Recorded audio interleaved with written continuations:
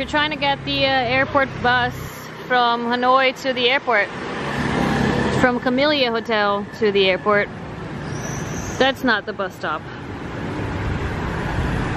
This is the bus stop. We missed our bus.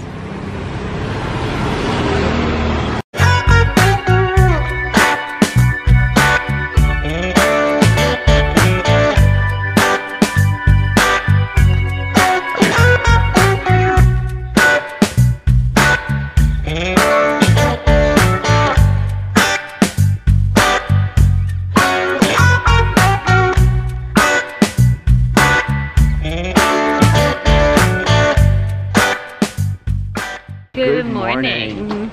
We're leaving Vietnam. And we're going home. Yay! Yay. Hmm. That wasn't enthusiastic. but It's good to go home, but it's very sad to leave. yeah, it's been an amazing trip. It's been an amazing month.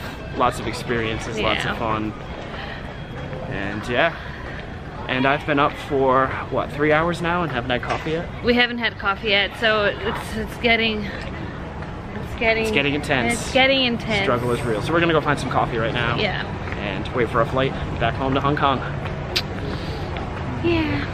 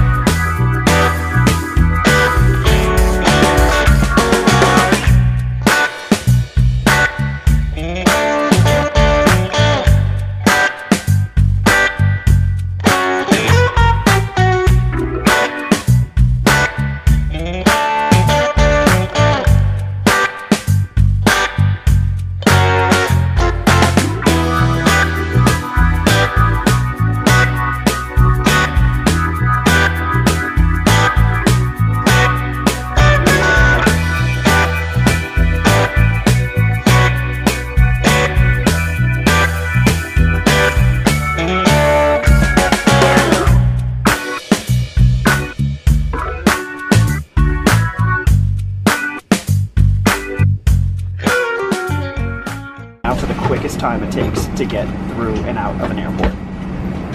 Let's see. It's 1240. 1240. Let's see.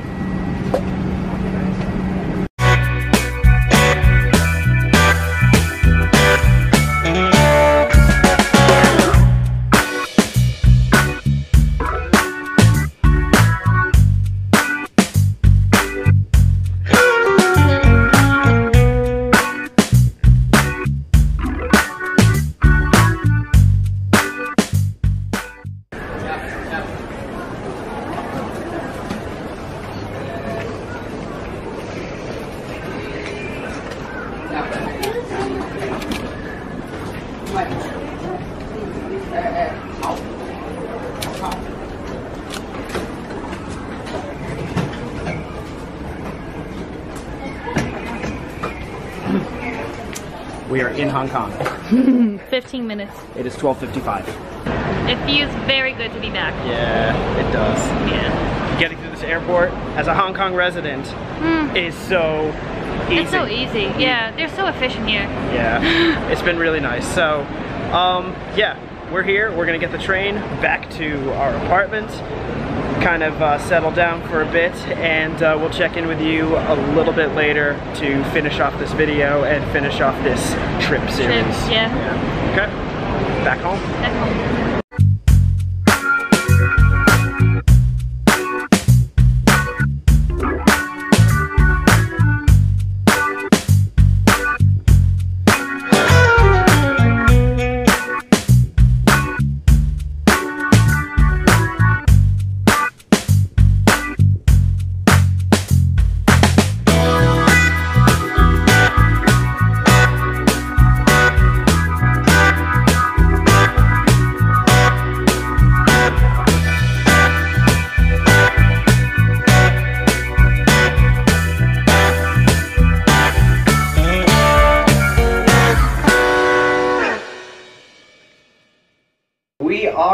Back.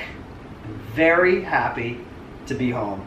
It's been so nice just kind of coming back to where where we live and finding all our things in the right place and being able to wear different clothes and not having to wear the same one of four or five outfits. Five, four outfits probably. Yeah. Yeah. Um, but yeah, it's good to be back. However, I was telling, we were both talking today and saying, uh, if our destination from Hanoi today hadn't been Hong Kong and had been somewhere different, if this trip had continued, I probably would have gotten on that plane Of course. with a huge smile on my face and Absolutely. said, let's do it. Yeah. Um, yeah, so much fun. Month of traveling. I could I could go more.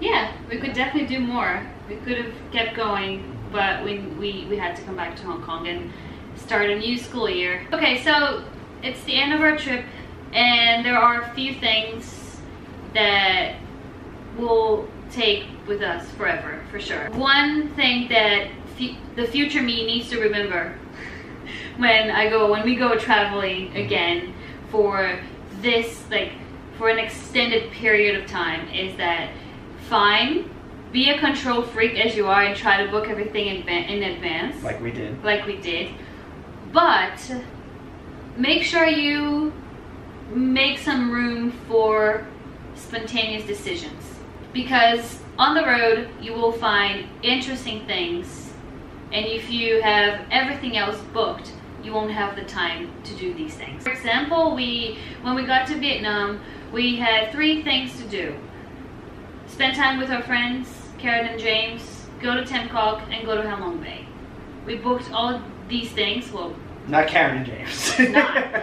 But we booked one day for Tim Tam Coc and one day for Halong Bay, and then the next day we had to come back to Hong Kong. So basically, we could have done things differently so we could spend more time in these places. Uh, but yeah, mental note, we'll do it differently next time. Absolutely. Yeah. Leave some wiggle room. Don't make your uh, travel schedule airtight. Mm-hmm. Yeah. As for me, I think traveling for a month is uh, a very amazing uh, learning experience. And one of the things for me that was most important was the food. Not not because I love food, I love eating, everything like that. But um, when you go to these different countries, try things, right? My example is uh, I've always hated mushrooms Yes. take them off pizza when I get them. Uh, avoid any dishes that come with mushrooms, or ask waiters or waitresses to take the mushrooms away. And in this particular trip, especially in Thailand, when we were doing the cooking class, making the soups and making salads and things like that, mushrooms were in everything. Every single dish. Even even Yeah. even the sauce was mushroom. Um, I had no choice. I had to try it, and I actually really enjoyed it. So the takeaway for me is if you try different things and kind of just go out of your comfort zone, you're gonna find things that you really enjoyed that you've never tried before, or things that you thought that you really hated, which you actually really don't. Mm-hmm. So when you travel to different countries, try these things. Just kind of go go off your go off go out of your comfort zone and order that one thing that you normally wouldn't order because you Mhm. never know.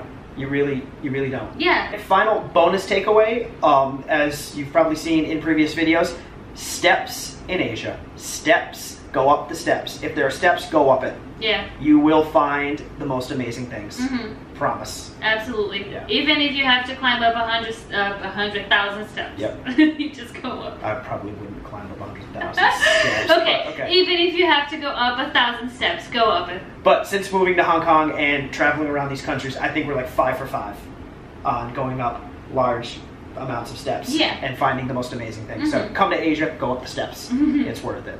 So excellent. We're done. We're done traveling for now. This isn't the end of our videos. Um, I mean, Hong Kong's pretty cool, so we might find ourselves doing a couple things around Hong Kong every so often, and um, try and record it and put it here on the channel. And uh, yeah. So we can look back in some years and just yeah remember how our life was in Hong Kong. absolutely. Yeah. Yeah. And the next time we travel, we're definitely bringing the cameras along. and doing Definitely. well.